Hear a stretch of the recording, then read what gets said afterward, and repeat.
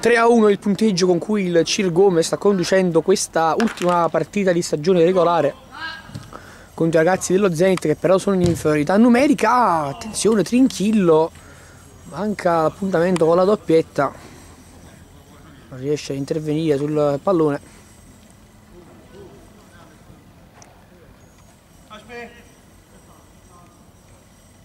questa rimessa dal fondo se ne incaricherà De Falco Falco il lungo rilancio Cecere intercetta pallone spazzato.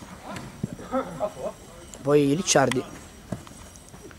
Ricciardi a cercare De Nigris stacca Santullo pallone arretrato per Trinchillo che prova ad andare Vitiello lo anticipa poi Ricciardi dribbling su Santullo ancora Ricciardi poi Ruffo ancora Ruffo recupera Santullo e poi riparte da Di Giorgio.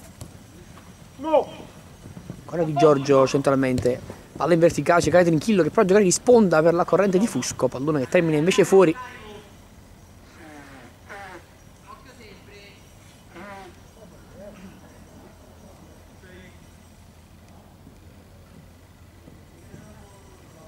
Pallone in verticale.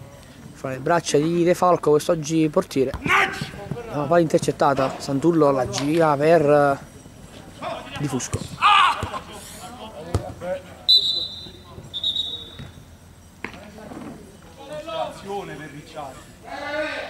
Fallo subito da Di Fusco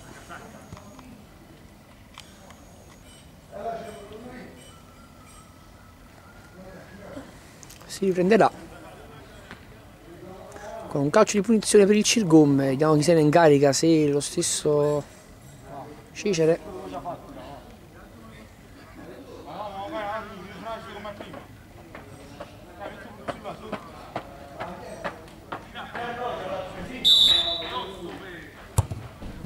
Tocco sotto cercare Trinchillo, palla che entra in porta con il gol del 4 a 1 del Cirgome che sembra adesso davvero aver ipotecato il match.